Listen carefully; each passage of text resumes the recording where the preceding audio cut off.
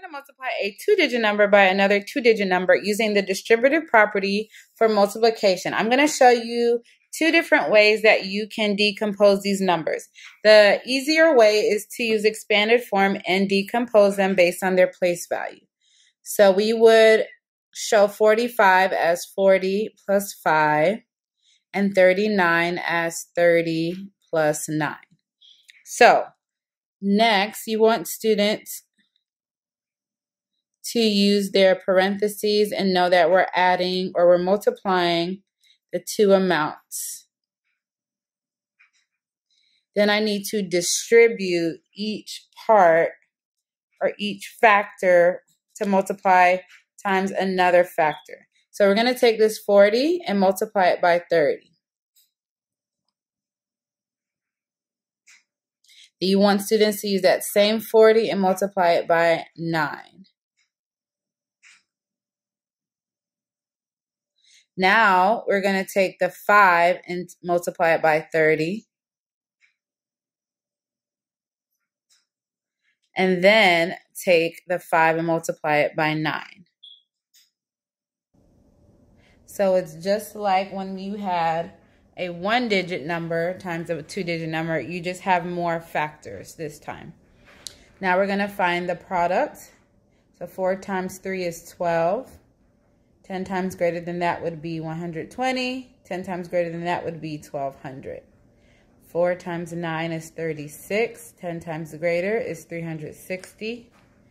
5 times 3 is 15. 10 times greater is 150.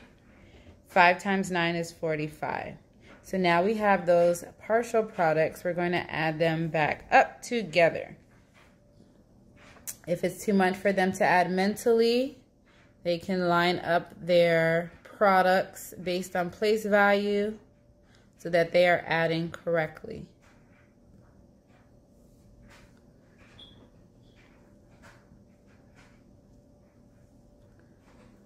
In the ones place, we have five ones. In the tens place, I know six and four is 10, plus five is 15. 15 tens gives us an extra 100. 1 plus 2 plus 3 plus 1 is 700 and then 1,000. So our product is 1,755. Now I'm going to show you how we can decompose one of those numbers differently than if we were going by place value.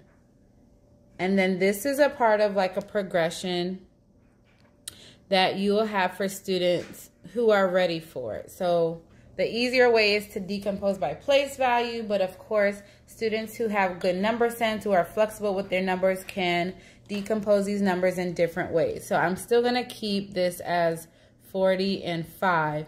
But this time I'm going to break apart, I'm going to decompose the 39 into 20 and 10 and 9. 20 and 10 is 30 plus 9.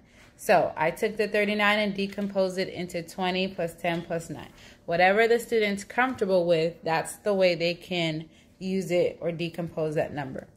So again, I'm going to write them with the parentheses so they can clearly see what they are multiplying.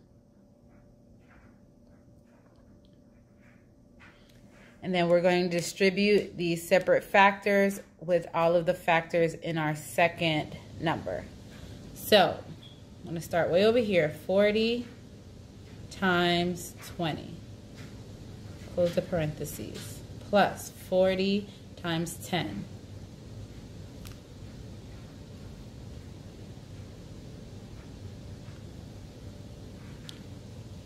plus 40 times 9. Now I'm going to do 5 multiplied by each of these numbers in the parentheses.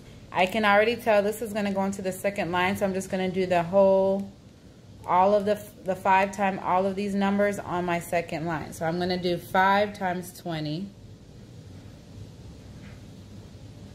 And I know I'm still adding on. 5 times 10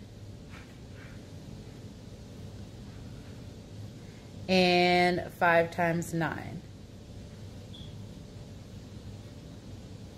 Okay, so it went pretty long, so I'm going to, with small print, I'm going to write the values of each of the products from each expression down below.